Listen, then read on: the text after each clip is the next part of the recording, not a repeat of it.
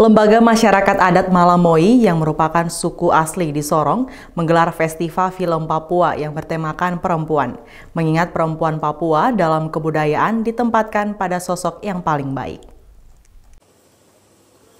Ada kurang lebih 10 film dokumenter yang menceritakan tentang aktivitas perempuan Papua sehari-hari dengan gaya hidup yang ada di daerah terpencil dan jauh dari teknologi modern yang hidupnya mengandalkan alam. Salah seorang sosok perempuan Papua yang menjadi inspirasi di film dokumenter berjudul Mutiara dalam Noken mengatakan ada kebanggaan khusus menjadi seorang perempuan Papua.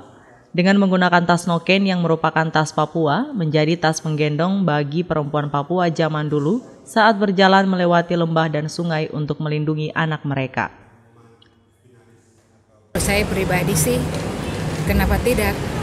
Suara hati film dokumenter ini tuh merupakan suara dan mata hati kami supaya bisa lihat oleh orang Papua dan terlebih utama adalah saudara-saudara kami di Papua.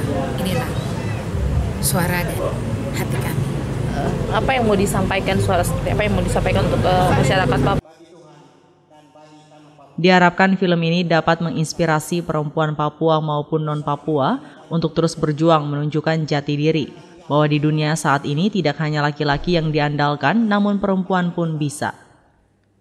Kegiatan ini bertujuan agar masyarakat yang ada di daerah Sorong Raya dapat melihat perjuangan sosok perempuan Papua di daerah-daerah terpencil, sehingga dapat menginspirasi. Selain itu pula, kegiatan ini dalam rangka memperingati Hari Masyarakat Adat ke-40.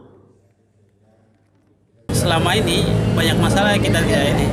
Ada masalah yang baik bahkan sampai buruknya ini kita tidak publikasi. Dan salah satu yang kenapa sampai kami memilih melalui audio visual atau film. Karena menurut kami film adalah salah satu alternatif yang terbaik. Artinya yang mudah untuk orang pahami. Karena kalau Flora Batlayeri Kompas TV Sorong Papua Barat